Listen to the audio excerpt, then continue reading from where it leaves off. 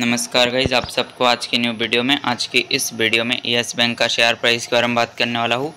कौन कौन सी level target को कौन कौन सी सपोर्ट रेजिस्टेंस को फॉलो करना चाहिए अगला।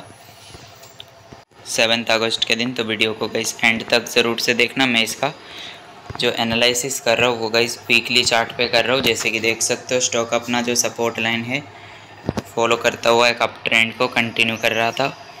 जो इसका आप लोग गाइज़ अभी के टाइम पे काफ़ी स्ट्रॉन्ग जो सपोर्ट फॉलो कर सकते हो, जो कि देखने को मिल रहा है गाइस सिक्सटीन पॉइंट सिक्सटी जो लेवल है, ये इसका काफ़ी ज़्यादा स्ट्रॉन्ग सपोर्ट देखने को मिल रहा है। रेजिस्टेंस जो इसका फॉलो कर सकते हो, सबसे पहला देखने को मिल रहा है इसका रेजिस्टेंस जो कि है सेवनटीन पॉइंट थर्टी फाइव और स्टॉक अगर इस लेवल को ब्रेकआउट करता है, तब आप लोग इसका अगला रेजिस्टेंस जो फॉलो कर सकते हो, जो कि होगा सेवनटीन पॉइंट नाइन्टी